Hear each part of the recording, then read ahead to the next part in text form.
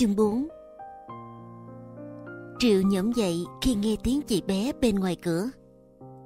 Bà ngoại gọi em kìa Triệu. Anh ủy oải nói. Tôi sẽ xuống ngay. Bước vào phòng tắm kế bên, Triệu mở vòi nước hết cỡ, rồi gục đầu vào cho tỉnh ngủ. Anh vỗ nước vô mặt, lấy khăn lau khô tóc và chăm chú nhìn mình, đầy vẻ trách móc. Xoa ót, Triệu cố nặng một nụ cười. Có chuyện gì không ngoại? Mặt lạnh tanh bà nói. Còn hỏi chuyện gì nữa à? Con hứa chở ngoại tới nhà của Nhật Lan. Bộ con quên rồi sao? Triệu nhân nhó ngồi xuống. Con nhớ chứ, nhưng mà con không rảnh.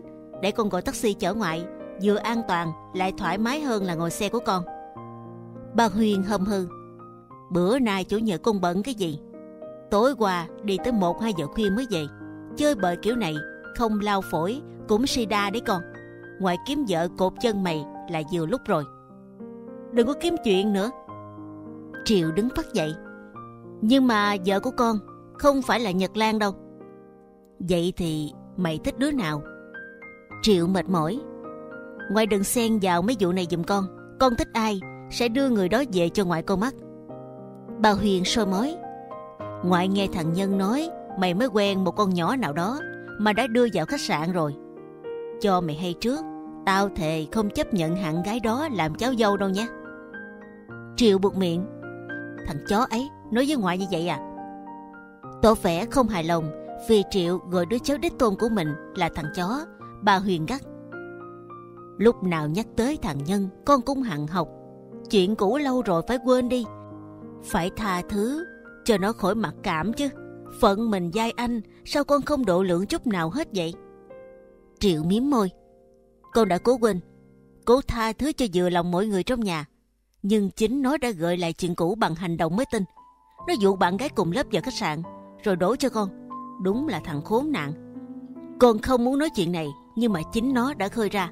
Nó sẽ biết tay con. Bà Huyền hốt quảng. Mày định làm gì nó? Nè, ngoại không tin thằng Nhân dám đưa bạn gái vào chỗ đó đâu. Triệu bực bội. Trước kia ngoại cũng đâu có tin. Nếu nó không làm vậy, cậu Long đâu có tốn hàng chục cái vàng, và con cũng chẳng phải đau khổ vì mất Hoàng Cúc. Bà Huyền xua tay. Con phải rạch rồi đâu ra đó. Con đau khổ vì Hoàng Cúc, không thương mình. Chứ đâu phải vì chuyện thằng Nhân nó tham gia khiến Hoàng Cúc từ chối con. Ngoại thấy cần phải nói rõ một lần chót để anh em bay khỏi hàng học với nhau nữa. Triệu nhăn mày. Nhưng chính nó là đứa mời Hoàng Cúc đi ăn kem mà. Giọng bà Huyền khô khóc. Làm thân con gái, ai rủ cũng đi, hay ho gì thứ đó mà cứ chết mê chết mệt hả Triệu? Dù thằng Nhân có mời đi nữa, nhưng nếu yêu con, Hoàng Cúc đâu thể nào theo đám bạn nó khi không có con được. Con nhỏ đó tự nguyện tự giác, chớ nào phải bị làm nhục như đã khai. Mày dễ tin quá con ơi. Triệu cười khẩy. Chuyện qua rồi, ai muốn nghĩ sao nói sao cũng được. Nhưng mà con chắc một điều, nếu không có vụ bẩn thỉu tồi tệ ấy xảy ra, chắc chắn Hoàng Cúc đã là vợ của con rồi. Bà Huyền thương hại. còn vẫn chưa khôn ra để thấy Hoàng Cúc là hạng gái nào sao? Nó là sinh viên đại học thật, nhưng mà thỉnh thoảng vẫn phải nhảy dù với khách để lấy tiền mà ăn diện. Hôm ấy nó đồng ý đi với đám bạn thần Nhân. Ai ngờ vào khách sạn gặp đợt truy quét. Nó sợ trường đuổi học nên mới khai là bị phục rượu bởi một trong đám tiểu yêu râu xanh đó chứ. Cậu lông mày đã cho Hoàng Cúc 10 cây vàng để nó bãi nại. Còn đĩ non ấy ham tiền nên đồng ý. Mặt nhăn giấm lại vì phẫn nộ, triệu ức ức. Đã bao nhiêu lần, mọi người cố nhồi nhét hùa theo cậu mở long và thằng Nhân, cho rằng Hoàng Cúc làm nghề tồi bại đó. Trong khi cô ấy là nạn nhân, là người mà con yêu thương. Trong nhà này ai cũng quên thằng Nhân, dù nó là đứa tội lỗi ngập đầu. Bà Huyền nổi sùng lên. Nó chưa hề đụng tới con Hoàng Cúc, làm gì mà tội lỗi ngập đầu. Mà ví dụ có đụng con Cúc đi chăng nữa, thì thằng Nhân cũng trả tiền sòng phẳng. Ngoại nói thật, chỉ có mày u mê mới nghe lời nỉ non của con đĩ ấy. Nó tỉ tê khóc lóc nhằm vội tiền mày, chứ chả yêu thương gì. Triệu hầm hầm trở lên lầu, anh bỏ mặt bà Huyền ngồi lại salon một mình. Thả người ngồi xuống giường, Triệu có quên lời bà ngoại vừa nói nhưng mà gương mặt đầm đìa nước mắt của Hoàng Cúc lại hiện ra, làm tim anh đau nhói. Suốt 4 năm nay, anh đã tìm mà không gặp. Cô đã rời thành phố này vì tuổi nhục, vì nghĩ mình không còn xứng với tình yêu của anh. Triệu chưa thể nào quên và có lẽ suốt đời không thể nào quên mối tình đầu ấy. Dù mãi mãi anh đã mất Hoàng Cúc rồi. Cô gái có nét đẹp sắc sảo, đôi mắt đa tình và thân hình gợi cảm ấy đã hớp hồn Triệu ngay lần đầu gặp gỡ. Dù chưa khi nào đi thi quan hậu, nhưng trong trường đại học dạo đó, bọn sinh viên đã phong cho Hoàng Cúc danh hiệu là Hoa Khôi. Đàn ông xếp hạng làm cái đuôi sau lưng cô. triều cũng là một trong những mắt xích nối dài ấy. Anh si mê cô và không dám hy vọng Hoàng Cúc để mắt tới mình. Âm thầm đeo đuổi và nhẫn nại tấn công bằng những món quà đắt giá mà đám sinh viên ít người có tiền mua. Triều đã mời được Hoàng Cúc đi uống cà phê ở những quán máy lạnh sang trọng. Anh đã nắm bàn tay mềm mại nhỏ nhắn của Cúc với tất cả xúc động. Anh đã tỏ tình và Hoàng Cúc đã e ấp, nếp đầu vào vai anh im lặng. Tuy cô chưa nói lời yêu đương, nhưng mà Triệu tin rằng im lặng là đồng ý. Những ngày bền bồng trong hạnh phúc thần tiên đó quá ngắn. Triệu chưa kịp mời Cúc về nhà, chưa dám hôn lên đôi môi mộng hay hận dỗi ấy thì chuyện tồi tệ khủng khiếp đã xảy ra. Hoàng Cúc trốn tránh anh bằng cách đổi nhà trọ, thậm chí là bỏ học. Triều chỉ gặp cô lần sau cùng khi cô điện thoại hẹn anh ra quán cà phê quen thuộc để chia tay vĩnh viễn. Lần ấy, Hoàng Cúc khóc như mưa, khiến Triệu đau đớn tới cuồng điên. Cô cho biết vì nhân nói có anh chờ ở quán kem nên cô mới đến và bị cho uống thuốc mê. Thằng em khốn nạn ấy đã đập nát hạnh phúc của anh vào lúc nó mới 15 tuổi. Nhưng còn quá bé để tham dự vào trò chơi tập thể bị ổi ấy với đám bạn lớn hơn nó cả về tuổi đời lẫn kinh nghiệm sống xa đọa. Bởi vậy cả gia đình ai cũng tin rằng nó theo bọn khốn ấy vì tò mò chứ không biết, không hay, không làm gì cả. Thậm chí Nhân cũng không hề mời Hoàng Cúc đi uống nước. Nó nói khi vào quán đã thấy cô ngồi với tụi bạn rồi. Triệu đốt một điếu thuốc và rít liên tục hai ba hơi để bình thản trở lại. Anh bực dọc vì đã nhớ tới chuyện này, trong khi trái tim nghìn lần muốn quên. Còn gì nữa đâu mà phải nhớ. Hoàng Cúc đã là cánh chim bay xa, mối tình ấy giờ chỉ còn là kỷ niệm. Hiện tại bà ngoại muốn anh cưới Nhật Lan, cô ta cũng dễ thương. Sao Triệu lại thờ ơ nhỉ? Cứ tiếp tục tìm hiểu như từ trước tới giờ, cho đỡ trống vắng, cô đơn, cũng có lỗ lã gì đâu dùi điếu thuốc vào gạt tàn. Triệu chua chát bởi suy nghĩ trần trụi của mình. Tình yêu đối với anh bây giờ là như thế đó sao? Sau Hoàng Cúc, Triệu quen với rất nhiều cô gái.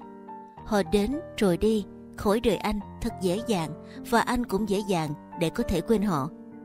Đôi lúc Triệu nghĩ, nếu tình yêu của anh và Hoàng Cúc không rơi vào bi kịch trên, chẳng hiểu tình cảm của hai người có duy trì lâu tới lúc anh cưới được cô không? Hay cũng chia tay từ lúc nào rồi? Và nếu không vì nghịch cảnh trái ngang đó, anh có còn rây rất nhớ hoài tới cô hay không? Hay là Hoàng Cúc cũng chỉ là một cơn gió thoảng qua đời anh? Đâu có phải là tình yêu chứ? Sao anh vẫn còn nhớ và mong được gặp lại cô đến như vậy? Đứng dậy, lựa bộ quần áo khác ra thay. Triệu hài lòng với vẻ bề ngoài của mình. Anh trở xuống nhà và vào phòng của bà Huyền. Triệu nhỏ nhẹ khi thấy bà cao có con đưa ngoại đến nhà của Nhật Lan nhé. Bà Huyền tươi ngay nét mặt. Cuối cùng, con cũng đã suy nghĩ tới nơi tới chốn rồi phải không? Triệu nhún vai. Con chỉ muốn yên thân và làm ngoại vui lòng. Bà Huyền nói lẫy. Con làm như ngoại ép uổng không bằng. Mồm cứ nói là ghét Nhật Lan, nhưng rồi cũng tới với nó. Thật không biết mắc cỡ. Bây giờ cứ chơi cho đã đời đi. Tới lúc dừng chân, tao sẽ đi cưới nó cho mày. Hai đứa bay không chừng có duyên nợ thật đấy. Nói ra sợ mày chê tao cổ lỗ, chứ tự do lựa chọn như mẹ mày thì hay ho gì. Rốt cuộc phải lấy hai lần chồng, nhưng mà vẫn chả yên ấm hạnh phúc. Thấy Triệu gầm mặt xuống, bà Huyền không nói nữa. Phe phải cái quạt trầm hương thơm ngát trên tay, bà ra lệnh. Chờ ngoại thay áo rồi đi. Triệu lầm lì bước ra sân, anh kiểm tra lại xăng xe, rồi ngồi chờ. Ngoài anh và bà Thư, ngoại của Nhật Lan là bạn thâm giao hai bà thân nhau đâu tận thuở còn con gái, đã từng hứa hẹn làm xui nhưng mẹ triệu không ưng con trai bà thư ngược lại, con gái bà ấy cũng chả thèm ưng cậu long có lẽ còn ấm ức, nên hai bà ngoại tiếp tục họ hẹn ngồi xuôi tới đời cháu. Nhưng anh chưa bao giờ xúc động vì cô ta. Dù anh từng hôn Lan, và thừa biết cô rất thích được như thế. Chính vì cái sự thích đó, làm anh khoái lâu lâu đến nhà Lan để được cô chịu chuộng mọi thứ và để thử đóng kịch yêu đương say đắm. Nghĩ cho cùng thì Triệu cũng là một thằng đểu, chứ nào hiền lành gì mà lên gân với Nhân. Bà ngoại vẫn hay sử dụng từ đểu mỗi khi nhắc tới anh. Nếu bà đọc được những gì Triệu đang nghĩ, thế nào ngoại cũng mỉa mai. Còn nhà Tông không giống lông cũng giống cánh. Nhưng mà ba anh có phải là một tên đểu giả, một gã sở khanh đâu. Triệu không muốn phê phán cũng như lên án những chuyện ba mẹ mình từng trải qua. Anh nghĩ mỗi người có số phận riêng, dù gì ba mẹ cũng đã có một thời yêu nhau cuồng dại, hạnh phúc tràn đầy trước khi chia tay. Bây giờ đường ai nấy đi, nhưng hai người vẫn đối xử với nhau như những người bạn. Chính vì vậy, nên dẫu không sống với cha mẹ, Triệu vẫn quý mến cả hai. Cảm giác côi cút vì bỏ rơi của một đứa trẻ phải sống với ngoại khi gia đình tan vỡ dần dần cũng nguôi ngoai. Càng lớn, Triệu càng hiểu và thông cảm với chuyện chia ly của ba mẹ. Có lẽ tại anh là đàn ông nên không mang mãi ấn tượng về việc tốt xấu, đúng sai theo kiểu của ngoại. Mỗi khi bà nhắc lại chuyện cũ, rồi cao giọng đòi cưới vợ cho Triệu, chứ không để anh tự ý yêu đương như mẹ anh khi xưa. Sau khi Hoàng Cúc bỏ đi, Triệu đã lận đận lao đao một thời gian dài vì bà ngoại theo giám sát rất kỹ. Bà không muốn anh quen ai ngoài Nhật Lan. Triệu đã nổi khùng lên, bỏ tới nhà ở với ông bố lãng tử một thời gian. Bà tới năn nỉ anh mới trở về. Bây giờ bà không ra mặt bắt anh cưới cô ta, nhưng vẫn bóng gió nhắc tới mãi. Triệu nghe hoài đâm ra quen. Anh biết, ngoại nói vì lo thôi. Cho đến lúc anh muốn cưới ai, chỉ trời mới cản được. Nhưng Triệu sẽ cưới ai khi hiện tại anh không biết mình thực sự đã yêu lần nào chưa? Đợi bà Huyền ngồi đàng hoàng, Triệu mới cho xe chạy thật chậm. Với anh, không gì đáng sợ hơn chuyện phải chở ngoại. Vì anh có chạy chậm cỡ nào, bà cũng than là quá nhanh, làm cho bà phải chóng mặt. Đi được một đoạn khá xa, bà chợt hỏi: hổm rài con có gặp nó không? Ngoại muốn nói tới ai? Bà Huyền gắt: thằng cha mày với ai? Triệu đáp: bố con đi Hà Nội cả tháng rồi. Nó đi làm chi mà tuốt ở ngoài? Triệu lừng khừng không trả lời thẳng câu hỏi của bà. Ngoại thừa biết chân bố con là chân đi mà, nếu không mẹ đâu rơi vào tay của người khác. Bà Huyền cao nhau, rơi vào tay người khác là sao? Trâm sự cũng tại nó bỏ bê mẹ của mày. Hồi chúng mới quen, ngoài đã thấy không được, nhưng mẹ mày vẫn cãi tao để rồi khổ cả đời. Triệu thản nhiên, ngoài nghĩ thế chứ, con thấy bố mẹ có ai khổ đâu. Mày biết gì mà dám nói vậy? sung sướng gì khi phải bước thêm bước nữa? Vẫn giọng đều đều Triệu nhếch môi. Nếu không sung sướng, mẹ đã ở dậy nuôi con rồi, chứ đâu vứt con cho ngoại như vứt đi món nợ đời. Bà Huyền có vẻ giận. Ăn với nói hay thật. Xin lỗi ngoại, con chỉ nói theo điều mình nghĩ, chứ không dám trách ai hết. Thà mày cứ trách móc, có lẽ bố mẹ ông bà còn dễ chịu hơn. Triệu im lặng, đến nhà Nhật Lan, anh hỏi. Bây giờ con tới đón ngoại đây. Bà Huyền ngỡ ngàng. Mày không vào thăm con bé một chút à? Chả biết chuyện gì để nói, chán lắm ngoại ơi. Cô với Lan khác hệ 180 luôn. Đưa tay nhấn chuông, bà Huyên cười cười. Thì lo chuyển hệ đi. Cưới con nhà giàu thì ấm cả đời con à. Đừng có bày đặt làm cao nữa. Chưa kịp quay xe lại, cổng nhà Nhật Lan đã mở. Một cô gái reo lên khi thấy hai người. À, bà ngoại, anh Triệu, lâu ghê mới thấy anh đến. Ba Huyên nói, con trách làm chi cái thằng lười này, đi làm về là chui vào phòng ngủ, chả chịu đi đâu chơi hết. Hôm nay nhớ lắm, nó mới chịu tới đây đó. Triệu hơi ngượng khi thấy mặt Nhật Lan đỏ bừng vì hạnh phúc. Anh không ngờ ngoại mình lại bạo miệng đến thế. mỉm cười thật quyến rũ, Triệu xã giao. Lan vẫn khỏe chứ? chớp chớp đôi mắt lá râm, Nhật Lan nũng nịu. Vẫn khỏe, nên đâu có ai thèm thăm. Dạo này anh bận lắm. Bà Huyền chủ động để Triệu tới trước. Nào nào, dẫn xe vào cho em nó đóng cổng. À, ngoại con đâu Nhật Lan, trên lầu phải không? Dứt lời, bà xăm xăm bước vô. Triệu đành dựng xe dưới gốc cây ngọc lan và đến ngồi trên ghế đá gần đó. Nhật Lan nhí nhảnh xạ xuống ngồi kế bên. Anh nhiều tội lắm đó nghe. Ủa, vậy mà anh đâu có biết. Tội gì kìa? Nghiêng nghiêng đầu cho tóc chạm cả vào vai của Triệu, Lan xòe tay kể. Một á, là tội lừa đi thăm em, hai là tội hứa lèo. Anh đã hứa gì với em nhỉ? Mấy đĩa ca nhạc đâu? Triệu kêu lên. Lần trước ngoại tới, anh đã gửi rồi mà. Nhật Lan ngúng ngoẩy. Nhưng mà anh không tới, em vẫn coi như là anh thất hứa. Đâu thể của đi thay người được. Ôi trời, xem khó quá. Khó thế mới, mới được chứ. Triệu dài giọng. Được cái gì nào? Phiếu vào tay của anh, Nhật Lan phụng phiệu, được trái tim. Triệu tủm tỉm. Tim của anh không thuộc về ai hết. Anh phải giữ kỹ nó để tồn tại chứ. Nhật Lan vên mặt. Thầy ghét, lúc nào cũng làm cao làm phách. Nhưng mà nói thật, anh không thoát khỏi em đâu. Triệu khoanh tay. Em định giữ anh bằng cách nào? Nhật Lan ghé đầu tựa vai anh. Thế anh thích cách nào? Triệu im lặng. Lần đầu tiên anh bối rối khi cà kê tán tỉnh Nhật Lan. Một việc mà từ trước tới giờ anh vẫn làm mỗi khi đến thăm cô. Có lẽ nên chấm dứt trò đùa này là vừa rồi. Nếu không, một ngày nào đó anh gỡ không ra cái gốc mà mình đã tạo buộc. Giọng cô tình tứ sát tay anh. Bằng cách này được không? Triệu cúi xuống, anh bắt gặp gương mặt Nhật Lan khao khát đợi chờ. Đôi mắt khép hờ, đôi môi hé mở của cô làm cho Triệu nóng người. Trước đây đã có vài lần anh hôn cô vì ham muốn nhất thời. Sau đó suy nghĩ lại, Triệu ân hận nên mới tránh gặp mặt Lan. Nếu hành động ấy khiến cô tưởng anh rất yêu cô, thì đúng là Triệu đã tự trói tay mình rồi. Trấn tĩnh lại, Triệu thì thầm.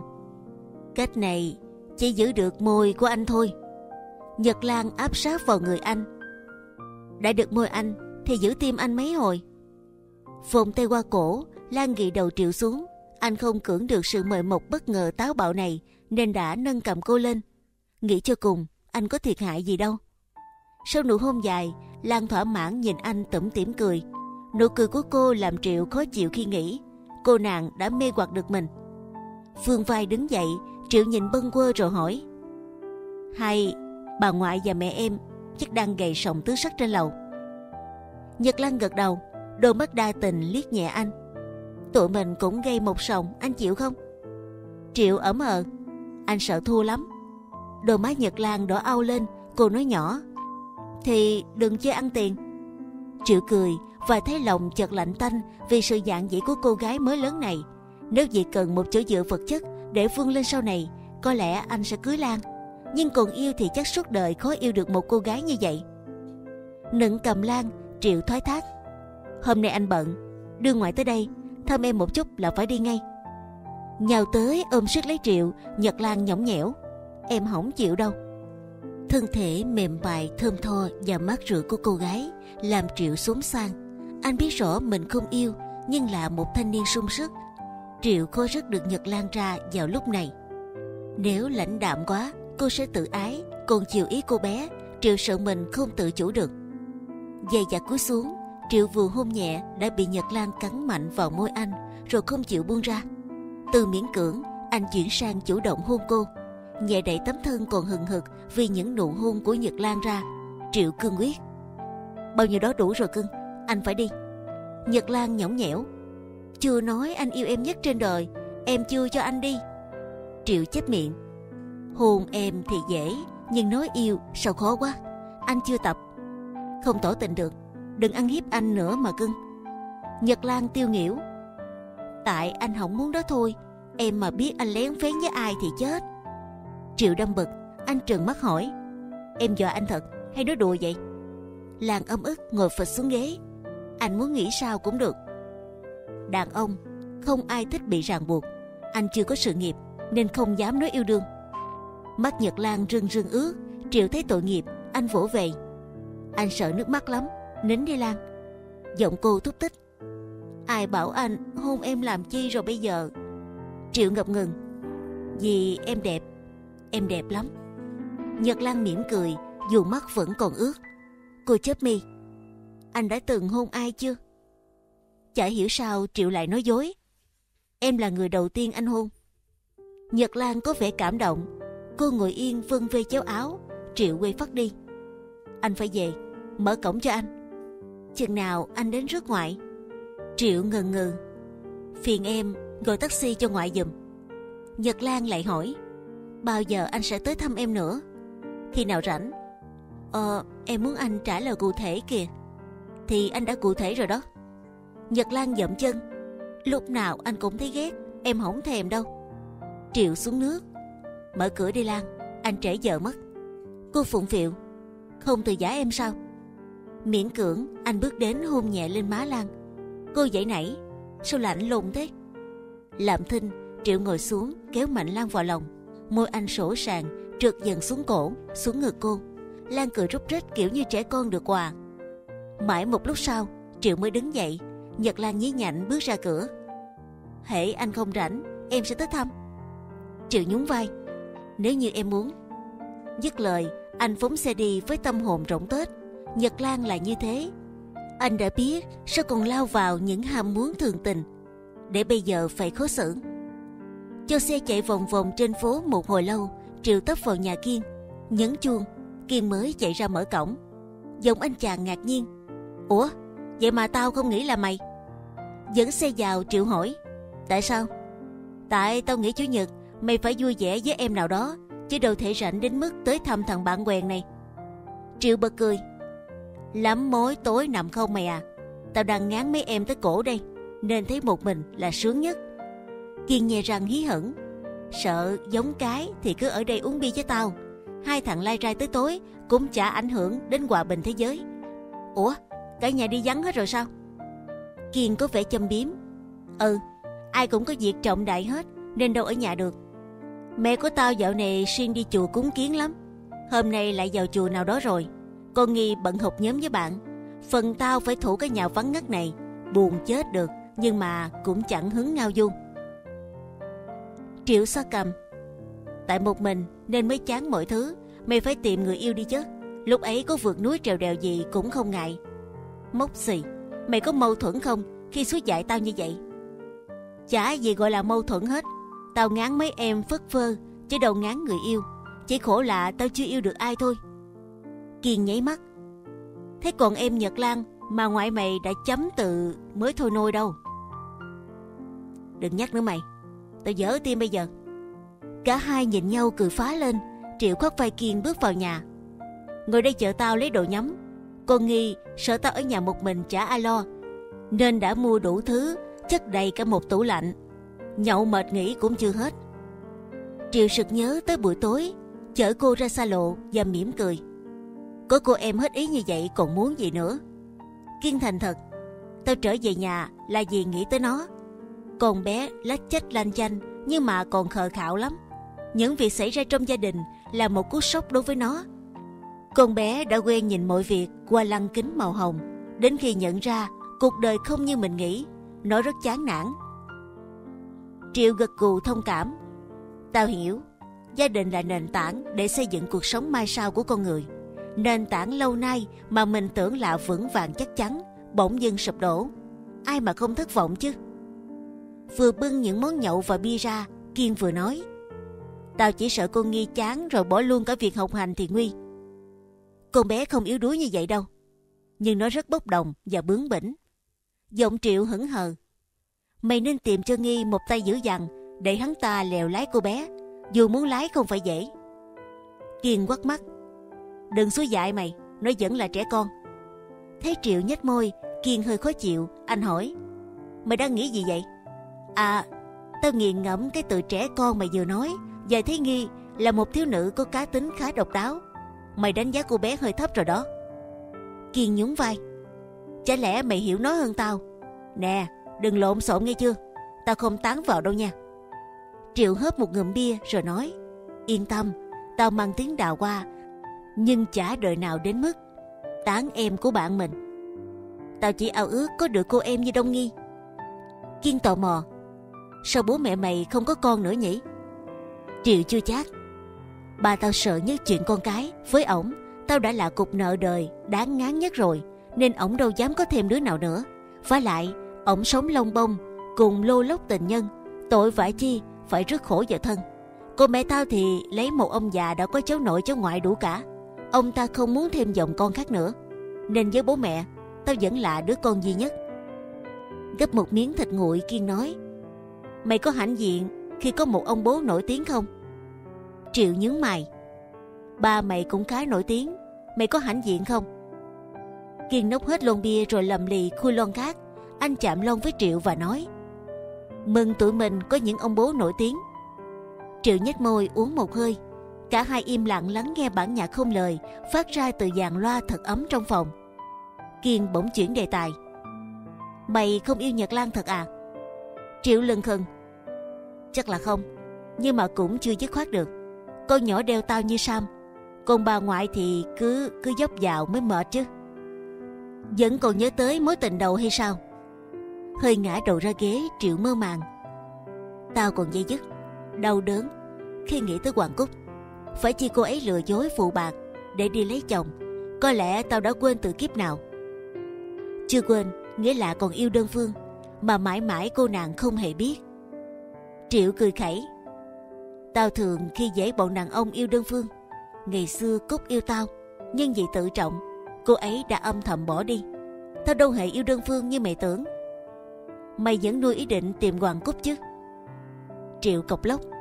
Ừ, nếu không có lẽ suốt đời khó hạnh phúc. Kiên tủm tỉm. Rất may, tao chưa phải khổ vì yêu như mày. Cứ như kịch ấy. Đưa lon bia tới trước Kiên nói. Chúc mày sẽ tìm được một tình yêu khác thấm thiết, say mê hơn tình yêu đã có. Triệu thản nhiên. Mong lợi chúc của mày chống thành hiện thực. Điều đó do trái tim của mày thôi. Ngoài cổng có tiếng kẹt xe in ỏi, Kiên cao mày nhìn ra. Quái, con nhỏ này hôm nay về sớm vậy kìa. Triệu thấy bối rối một chút khi nghe giọng con gái ríu rít ngoài sân. Anh đặt lon bia xuống bàn. Đúng lúc Đông Nghi và một cô bé nữa bước vào. Từ buổi tối ấy đến nay hai người mới gặp nhau. Cô hơi khựng lại lúc thấy anh lầm lì nhìn mình. Nghi không nói gì, nhưng cô bé cao leo kheo đi cùng chót chét. À, không có ai ở nhà nên anh Kiên bày đặt nhậu cho tụi em nhậu với. Kiên hất mặt. Giỏi bày đặt đòi hỏi, lo mà học thi đi. Thảo Yên cười hì hì.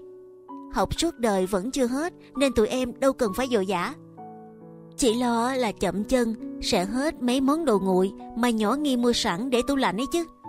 Triệu gật gù. Em nói đúng đó, học không sai giết mòn tuổi trẻ. Này Kiên, cứ để hai cô bé uống một tí sảng khoái, học bài sẽ mau vô hơn. Thảo Uyên vỗ tay, bạn anh Kiên chịu chơi thật. Kiên cào nhào, nhưng đây đâu phải chỗ để tụi em chơi. Hai đứa xéo ngay lên lầu, con nít đừng học đòi. Đồng nghi công cứng Thảo Yên á, nó đùa thôi mà. Anh hai làm gì mà dữ dằn vậy? Bọn em sẽ lên lầu với điều kiện có hai lon bia kèm theo. Đồng ý không? Triệu nheo mắt trêu. Nghe chưa anh hai? Kiên chưa kịp nói gì, Thảo Yên chợt lên tiếng.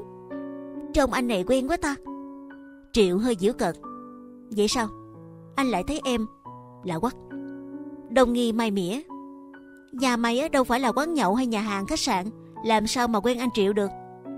Thảo Uyên nhíu mày. Triệu hả? Thôi đúng rồi, em nhớ ra anh rồi, nhưng mà em không nói. Nghi ngạc nhiên. Ủa sao vậy? Uyên xua tay. Không sao hết. Thôi mình lên lầu để mấy ổng tiếp tục cuộc chiến đấu. Triệu khó chịu. Đâu thể nào chưa xong đã bỏ đi được. Anh muốn biết em từng gặp anh ở đâu, hồi nào? Thảo Uyên im lặng rồi gượng gạo. Xin lỗi em đùa, chứ chưa bao giờ gặp anh hết. Triệu đanh giọng, nói dối, anh không thích ai đùa với mình. Tại sao em ngần ngừ? Lẽ nào em đã gặp anh đang làm việc gì xấu à? Uyên ấp úng, không phải. Đồng nghi lắc tay Uyên, vậy thì nói đại đi. Kiên cũng ngạc nhiên, có chuyện gì làm em khó xử à? Uyên mím môi, em từng thấy anh tới nhà Hoàng Cúc nhiều lần. Việc này chả có gì xấu, nhưng em thù con hồ ly đó nên không muốn nhắc tới. Dứt lời, Thảo Uyên bỏ chạy lên lầu. Đông nghi nhìn Triệu rồi định chạy theo, nhưng Kiên đã nói: Hoàng Cúc có quen gì với Thảo Yên vậy nghi? Cô ngập ngừng. Cô ta là vợ bé của ba nó. Triệu tái xanh cả mặt. Anh kêu lên: Không thể nào. Đông nghi trợn mắt. Tại sao lại không thể? Ba nó bỏ bê gia đình để theo người khác 4 năm nay rồi mà. Triệu gầm gừ. Nhưng người đó không phải là Hoàng Cúc. Nghi trầm giọng. Chuyện này em không biết. Kiên khoát tay. Lên lầu đi Nghi. Triệu ngồi ngoậy trên ghế.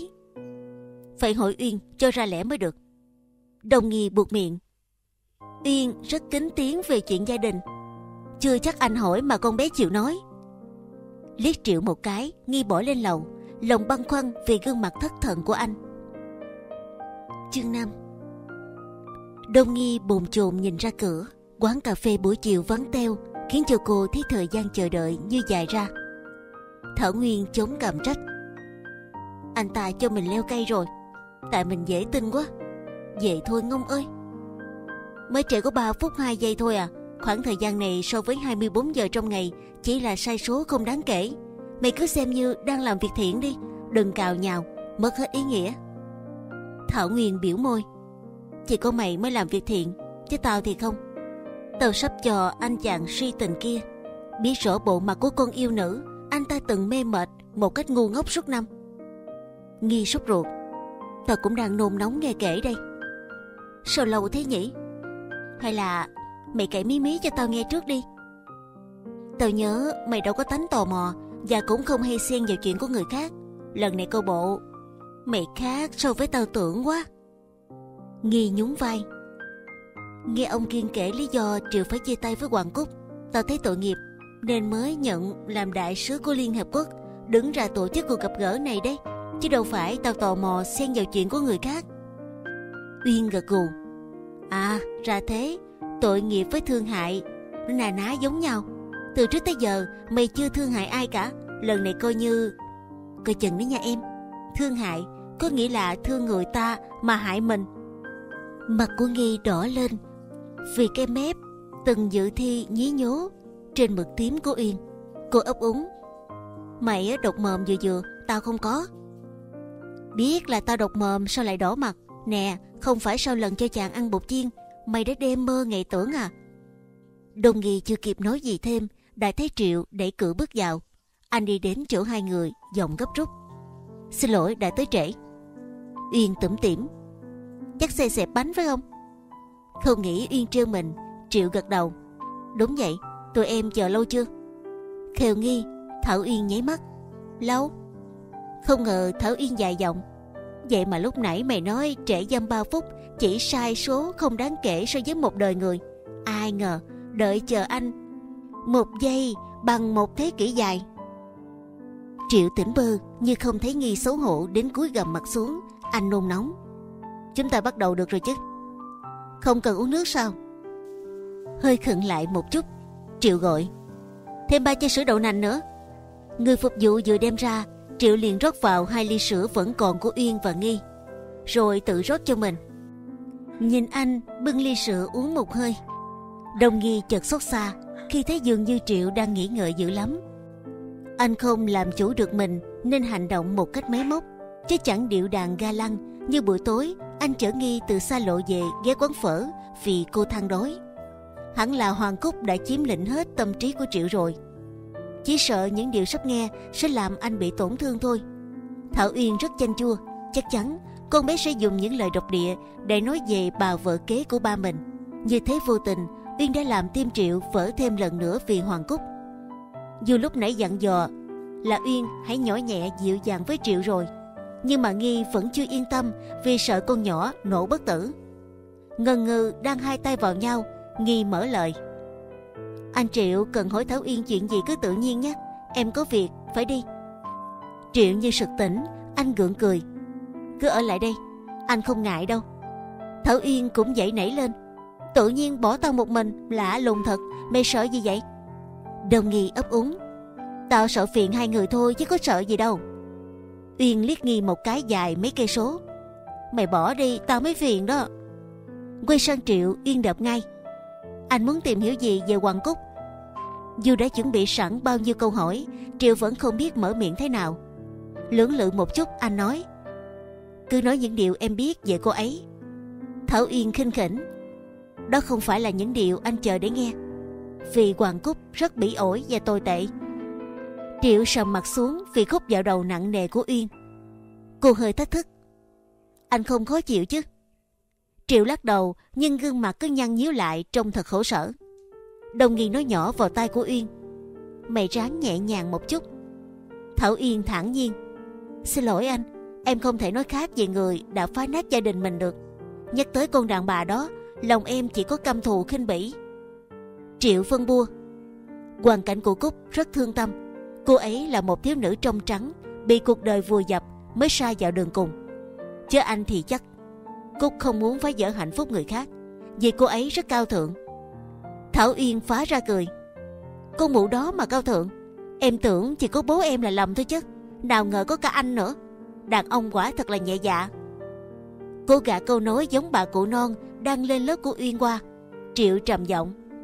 Anh đã lầm Hoàng Cúc ra sao? Em nói đi. Thảo Uyên nhịp tay lên bàn. Em sẽ kể về Hoàng Cúc và anh sẽ tự rút ra những lầm lẫn của mình. Im lặng hơi lâu như để nghi và Triệu nóng ruột hơn nữa. Uyên mới nói. Chắc chắn em biết Hoàng Cúc trước anh. Lần đầu gặp em, Cúc là một cô nữ sinh vừa tốt nghiệp phổ thông trung học, lên thành phố dự thi đại học. Hoàng Cúc là bạn của dì út em, nên đã theo dì ấy tới nhà em ở tạm. Sau đó cả hai đều đậu đại học và cùng ở nhà em. Uống một hớp nữa, Uyên kể tiếp. Nửa năm đầu, Hoàng Cúc vẫn còn là một cô gái quê với đôi mắt lúng liếng, liếc ngang liếc dọc. Nhưng mà sau đó dần già, ả đã biết ăn diện.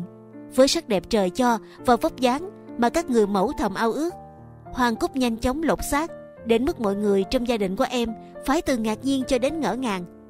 Vốn là người nhạy cảm, mẹ em thấy cho chị ta ở trong nhà là chứa một hiểm họa, nên bà đã viện nhiều lý do để Hoàng Cúc đi trọ chỗ khác.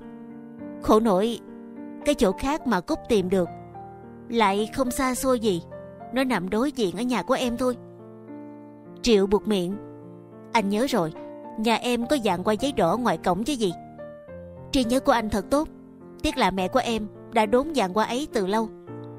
Đông nghi hỏi, sau đó thì sao? Dì út nói gia đình Hoàng Cúc nghèo, nhưng mà từ khi chị ta dọn ra ở riêng, thì lúc nào cũng thấy Cúc ăn xài thoải mái và chân diện hơn mức bình thường mà một sinh viên nghèo có được, nhất là khoảng thời gian cuối năm học thứ nhất. Xoay xoay chiếc ly trong tay, Uyên nói: dù không hề ganh tị với Cúc, nhưng bọn em bắt đầu để ý và thấy chị ta rất thường đi đêm với những bộ cánh thật xịn và bao giờ cũng được chở bằng rim hay là xe đời mới. Để rồi sang hôm sau mặc những bộ đồ đơn giản hơn để đi đến giảng đường. Nhìn Phất Triệu một cái, Uyên lên giọng. Nghe đâu bọn con trai của trường kinh tế trồng cây si cúc hàng hàng như là cao su trong rừng. Chắc hẳn trong đó có cả anh. Nghi đá nhẹ chân Uyên vì câu nói hội sách mé và trật gì đó.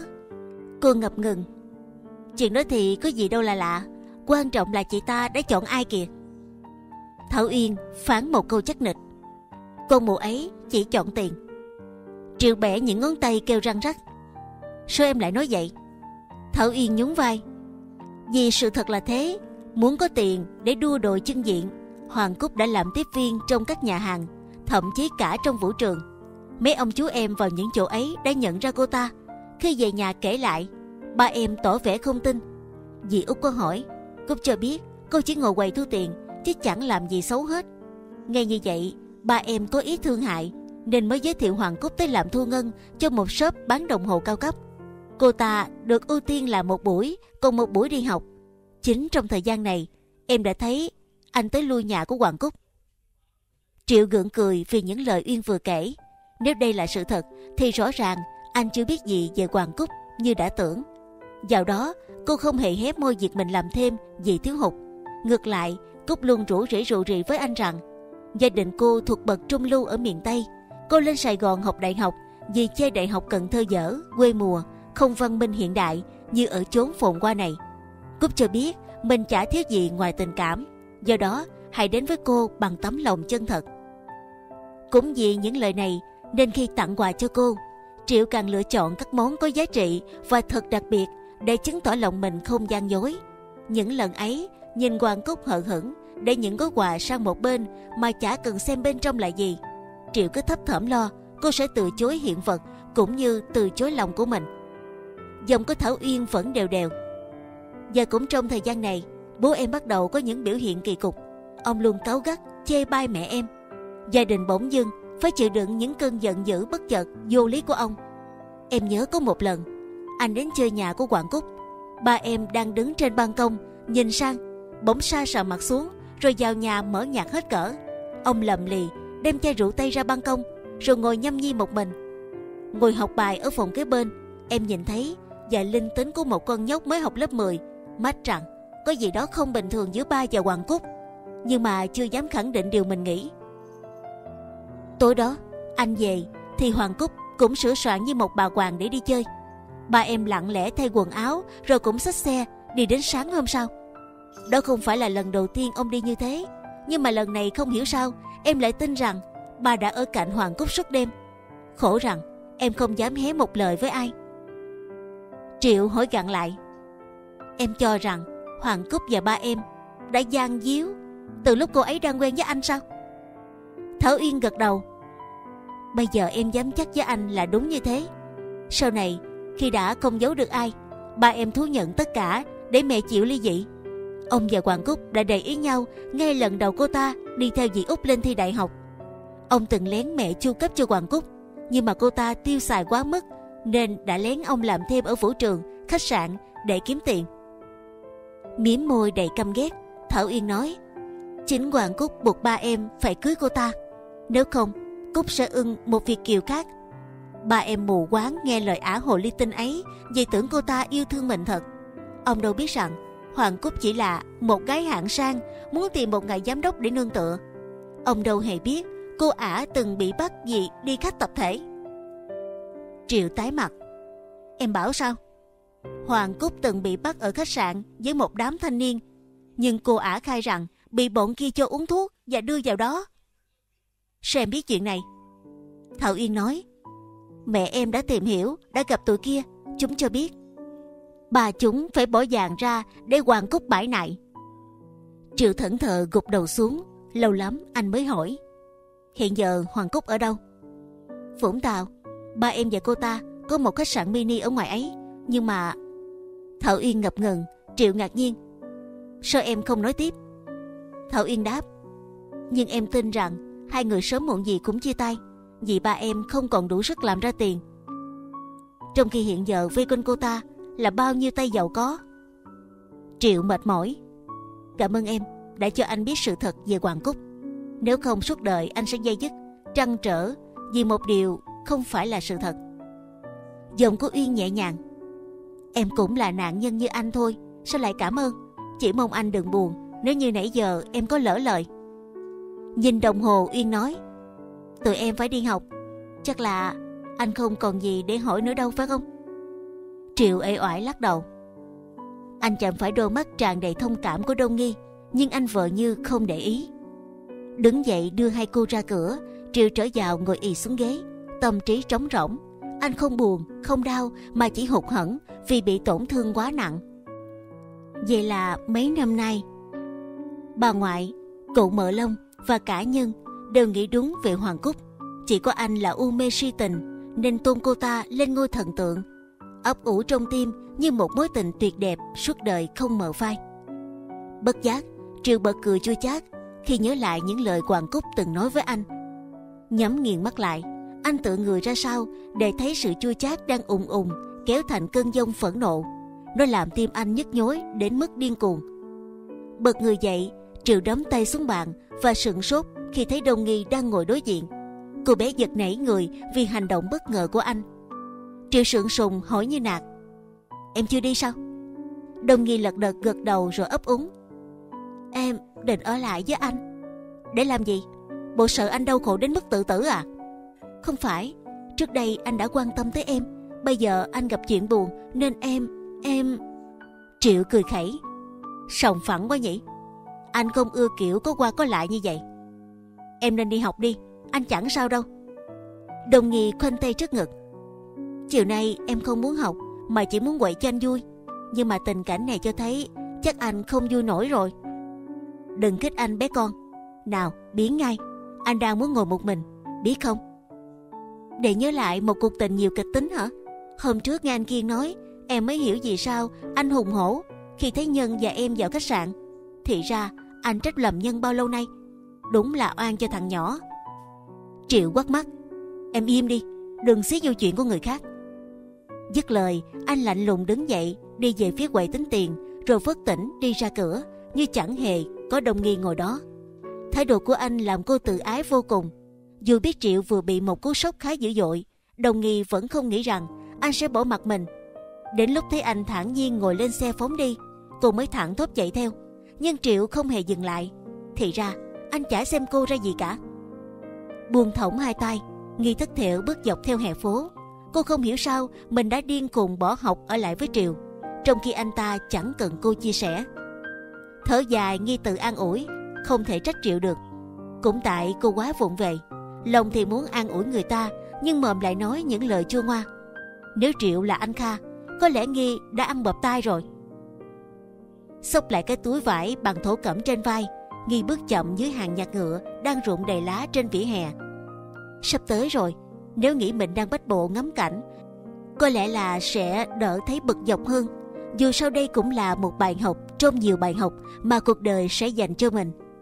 Tại sao mình lại chủ quan nghĩ rằng Triệu sẽ cần mình an ủi, trong khi suốt buổi trò chuyện anh rất tỉnh táo chứ không hề bị kích động chút nào. Quả là mình đã ngộ nhận.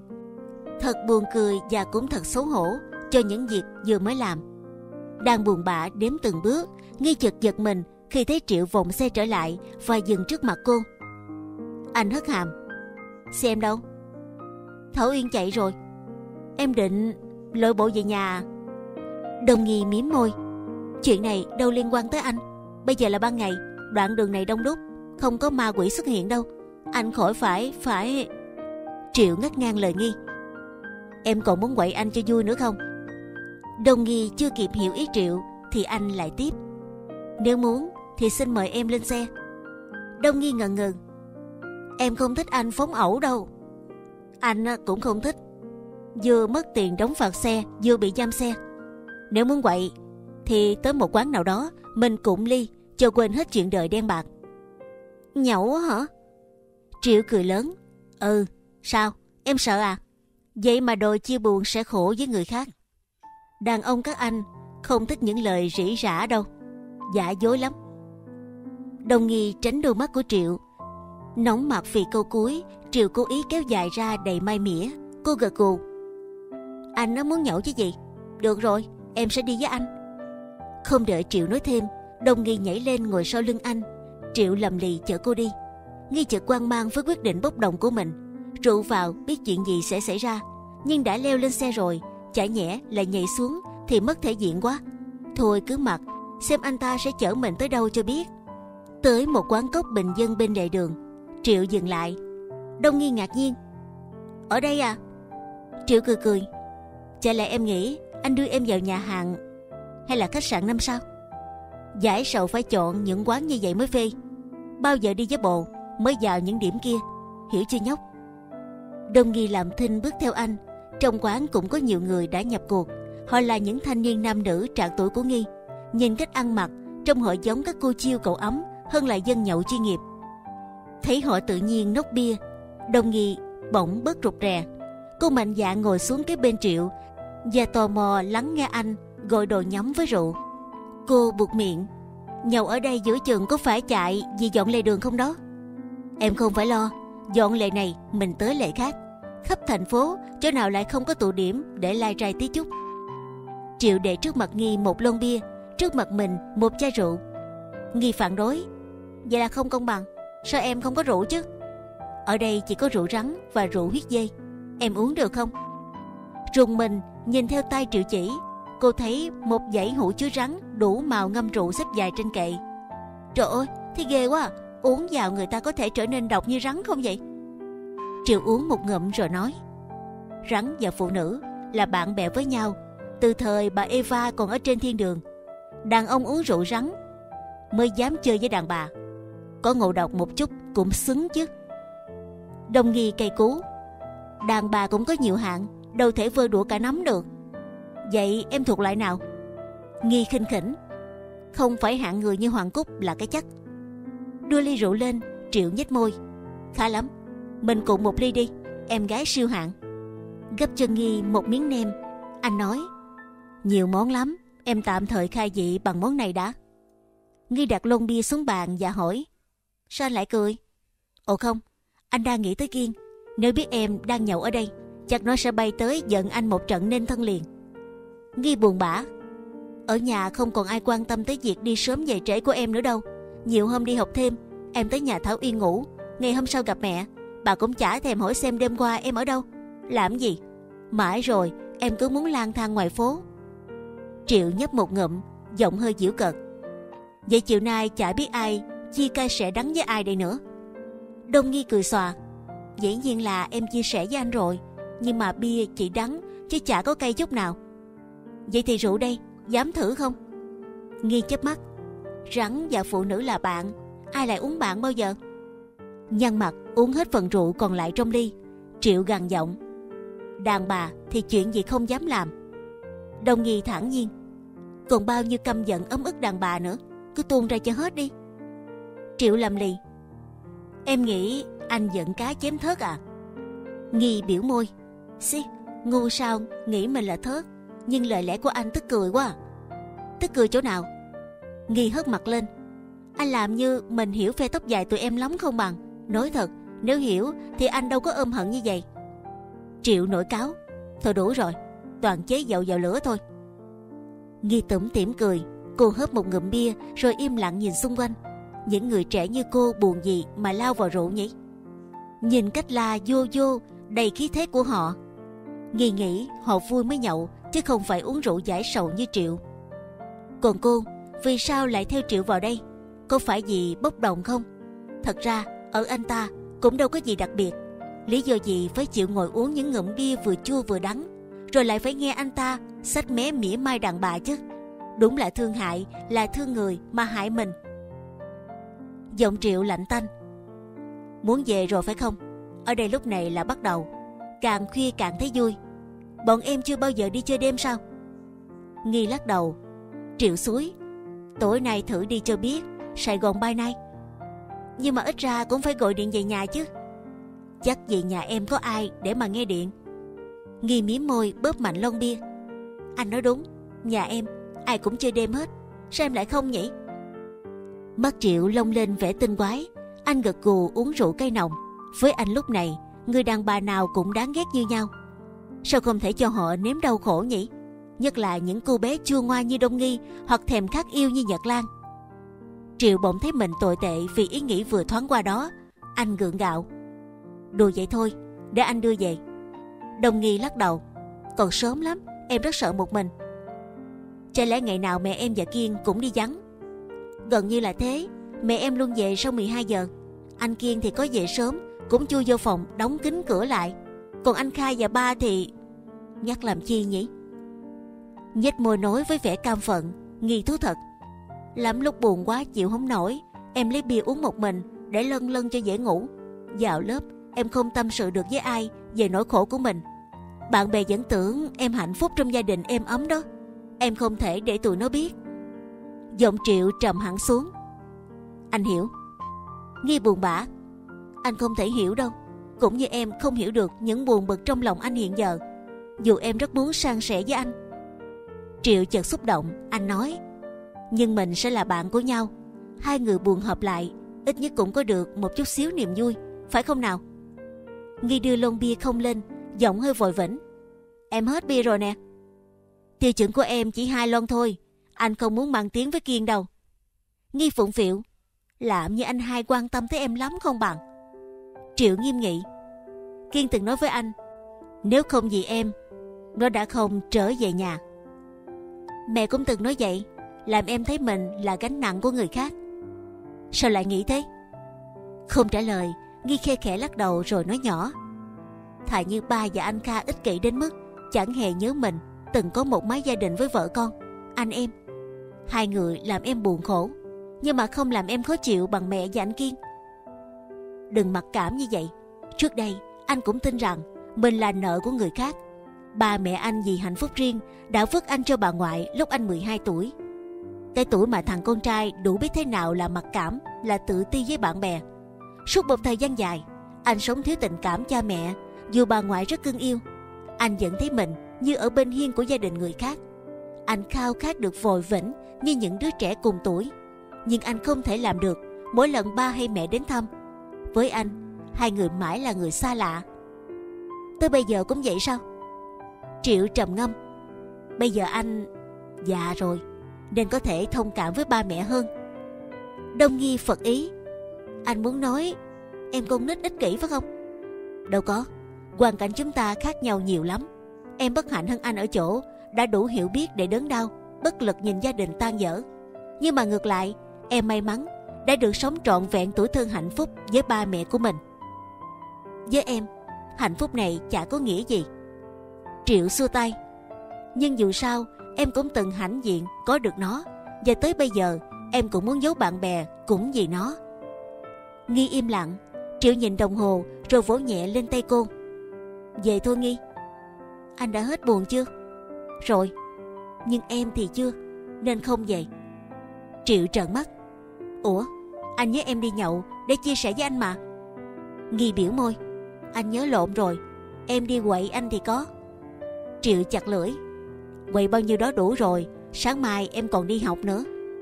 Nhìn Triệu với vẻ thách thức, Nghi nói.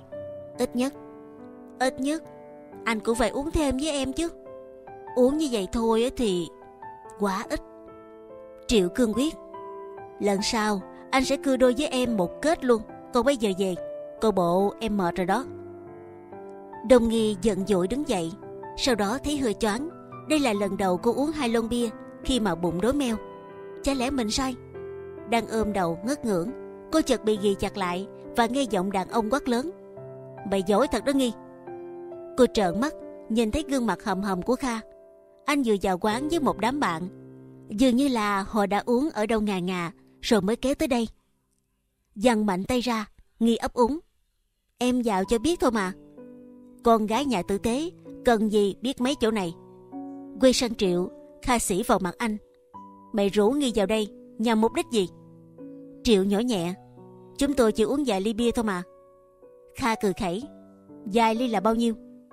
Mày là bạn thằng Kiên, chứ không phải bạn con Nghi. Mà ví dụ là bạn nó. Mày cũng không được quyền dẫn con bé vào những chỗ như vậy. Đồng nghi kêu lên. Anh vào được, em cũng vào được. Im đi, tao chưa hỏi tới mày. Lư lư nhìn Triệu, khai chữ thề. Mày nói đi chứ, định dụ con nhỏ phải không? Mặt Triệu đanh lại, tay anh vung lên rồi buông thõng xuống, giọng tự tốn. Mày hiểu lầm rồi, tao đâu có tệ như vậy. Kéo tay nghi, Triệu lạnh lùng. Để tao đưa con nhỏ về. Có gì chưa vừa ý, tụi mình nói chuyện sao? Nó là em tao, mày đâu có quyền dắt đi đâu thì dắt. Khi anh nói sợ sợ ở đây. Đừng làm khó nhau nữa. Kha khinh khỉnh. Tao mà thèm khó dễ với mày. Đồng nghi tức tối đẩy Kha qua một bên và nắm tay Triệu lôi đi. Không có dông dài nữa em về đây. Chợp vai cô lại, Kha nghiến răng. Con này hỗn, tao đã cho phép đâu. Hất mặt về phía Triệu Kha nói. Chưa xin lỗi tao, đố mày dám dắt nó đi. Một người trong đám bạn Kha cất giọng nhựa nhựa xí vô.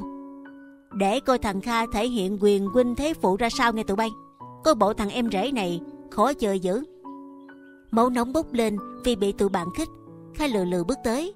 Dù biết Kha không còn tỉnh táo, Triệu vẫn thấy tự ái. Nãy giờ anh đã cố dằn vì nghĩ đến nghi, nhưng mà thái độ quá đáng của Kha làm Triệu cũng nổi sùng theo. Anh gằn giọng. Tao đã nói phải quấy rồi.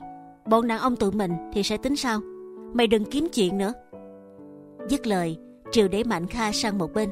Cái đẩy bất ngờ của anh làm Kha bật ra sau, loạn choạng suýt té.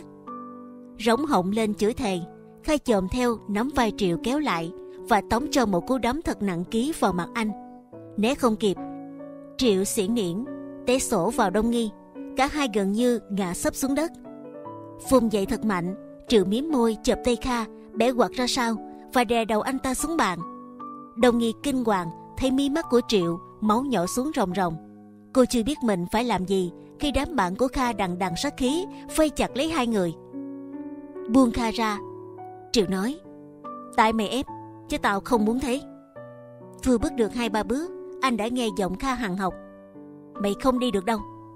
Nghi nóng nảy la lên: Anh đánh người ta đổ máu rồi còn chưa vừa lòng sao? Chuyện không có gì mà anh cứ muốn xé ra to. Hay anh muốn kéo em vào công an mới chịu? Cười gằn, Kha lớn lối: Cho tụi bay xéo, riêng mày về nhà sẽ biết tay tao. Tao nghĩ tới ông già nên mới bỏ qua đó. Triệu tức tối. Tao sẽ gặp lại mày sau. Chuyện này chỉ mới bắt đầu thôi. lấy xấp khăn giấy trong giỏ sách ra. Đông nghi ngập ngừng. Anh cầm máu đi. Không hiểu ông Kha nghĩ gì mà hành động như vậy. Cũng tại em. Nếu lúc nãy chịu về sớm thì đâu có chuyện gì xảy ra. Nhìn mặt Triệu hơi cao lại, cô xót xa. Đau lắm phải không? Chỉ trề ngoài da thôi mà. Nhưng mà đây đúng là kỷ niệm đáng nhớ. Bốc đồng chỉ có hại chứ không có lợi chút nào. Tại anh chứ không phải tại em. Nhưng sao tay anh Kha cứng dữ vậy? Triệu dắt xe xuống lòng đường. Cái nhẫn cứng chứ không phải là tay Kha cứng. Anh chàng làm như còn quan tâm tới cô em út nhiều lắm vậy. Lúc nãy nếu không có em, chưa chắc là kết thúc đâu. Đông Nghi ngỡ ngàng. Ủa, chả lẽ hai người đã từng có xích mích, nhưng mà tại sao vậy? Triệu bỗng gắt gỏng. Em về nhà mà hỏi ông anh quý quá của mình. Anh đã muốn quên, không ngờ khai vẫn nhớ. Đông Nghi làm thinh, lâu lắm cô mới khẽ nói. Em xin lỗi. Về vấn đề gì? Chuyện vừa xảy ra trong quán đó. Giọng của Triệu hơi dịu xuống. Nếu nghĩ rằng tại em, Kha mới gây sự với anh là em làm rồi. Nhưng mà dầu sao, anh cũng sai khi đưa em vào đó. Đông nghi buồn bã nhìn những hàng đèn chạy lùi về phía sau. Cô cũng ân hận vì đã theo Triệu. Anh nói đúng, bốc đồng chỉ có hại. Hai lon bia có làm vơi buồn hay không, nó chả còn chút dư vị nào hết. Còn chăng trong lòng của nghi là nỗi chán chường lẫn thất vọng. Nhưng mà chán chường về điều gì, thất vọng về ai, Đông nghi không biết thì cảm giác đơn độc lẻ loi lại xâm chiếm cả linh hồn. Rồi Triệu sẽ về nhà với vết thương máu trên trán. Không ai, kể cả anh được biết rằng trong tim Đông Nghi vừa có một vết sức nhỏ thôi, nhưng mà xuống sang dây dứt đến khôn cùng.